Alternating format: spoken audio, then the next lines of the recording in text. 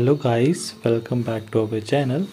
Guys if you're getting the same problem in the BlueStack that I have getting from a long time something went wrong installation failed error code 2004 uh, and uh, many other error code arises.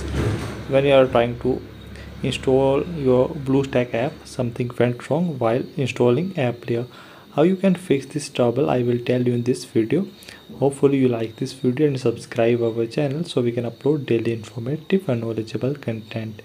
So this problem I have facing while installing this.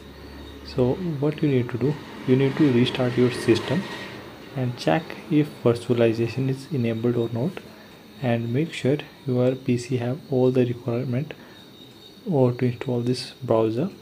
Increase the allocated CPU cores and RAM to BlueStacks and uh, make sure you update your GPU driver to the latest version. And uh, you also need to free up some space because if your device is full of space then this problem arises. And make sure your firewall is turned off when you are trying to install this browser.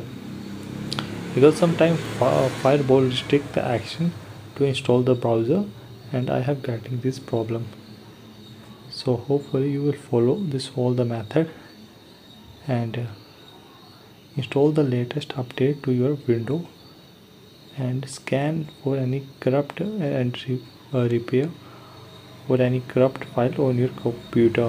Hope you like this video and subscribe our channel zero to infinity